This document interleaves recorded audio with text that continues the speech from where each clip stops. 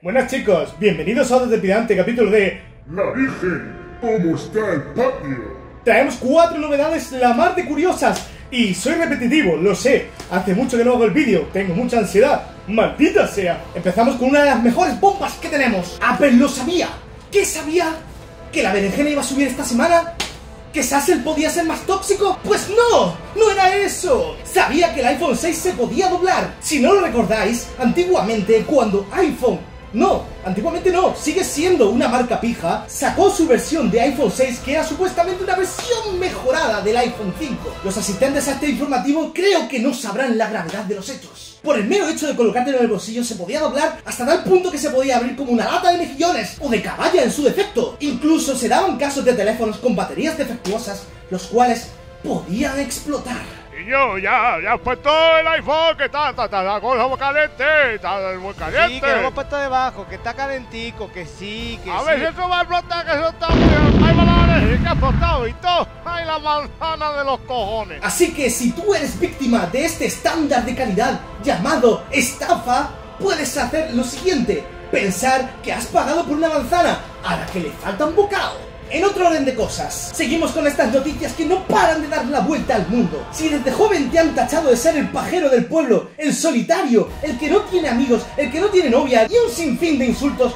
no te preocupes, ahora eres de una sección bien protegida de la sociedad. Se llaman los solosexuales. Ahora existe esta categoría que se define como aquella en la que engloba a todas estas personas marginadas, o sea, pajilleros. No nos engañemos, todos de jóvenes lo hemos sido. No nos tenemos por qué sentir ofendidos porque hagamos esta burla, ¿verdad? Solamente han cogido algo muy común del sector de la sociedad y lo han hecho idílico. ¡A toda la peña de Carabanchel!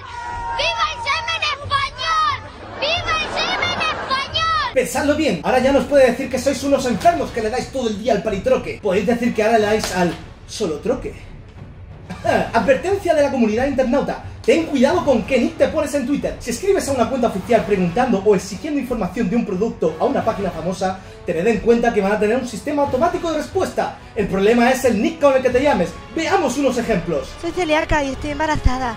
Latam Airlines no me puede dar mi vianda. Hola, Celíaca. Con el fin de brindarte mayor asistencia, bríndanos los nombres de los pasajeros. Oigan, ¿en BBVA Bancomer se puede depositar a una cuenta si solo tengo el número de tarjeta? Hola, puta desagradecida. Gracias por contactarnos.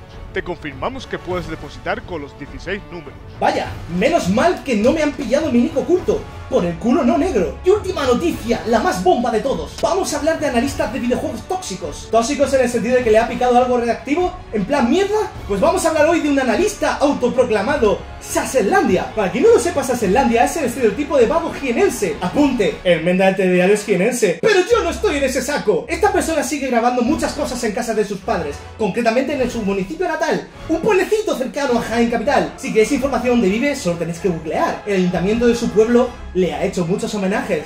A mis cojones que se van de viaje. Este youtuber se caracteriza porque supuestamente es el ceguero auténtico, el, el, el, el, el elegido. Y por supuesto, arremete contra toda la comunidad de gente que apoya a Sony o que consume sus productos. Pues recientemente se ha llevado un bocazás de los cojones bien grande porque una de las grandes empresas de videojuegos llamada Nintendo ha hablado en su contra. Uno de los directivos más altos de la casa ha dicho que lamenta mucho tener a gente así que apoyan sus productos, gente tóxica y que busca la polémica. Hemos hecho una recreación de los hechos de cómo le han sentado estas declaraciones a Sasselandia. Este mando de aire acondicionado es Sasselandia y este el directivo de Nintendo. ¡Oh, oh, oh, oh, oh, oh! ¡No, tío, Piperos de mierda. Potencia, potencia, potencia, potencia. ¡Oh! ¡Oh, no, no! ¡Malditos piperos se han puesto en mi contra! ¡Te está atacando Nintendo! ¡Me da igual! ¡Putos piperos! ¡Potencia! Míralo por el lado bueno, Sassel. Siempre vas a poder trabajar de molde para cabezas de maniquí.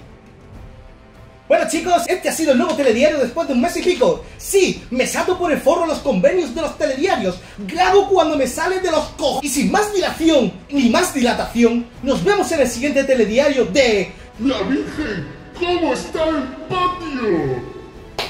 ¡Nos vemos!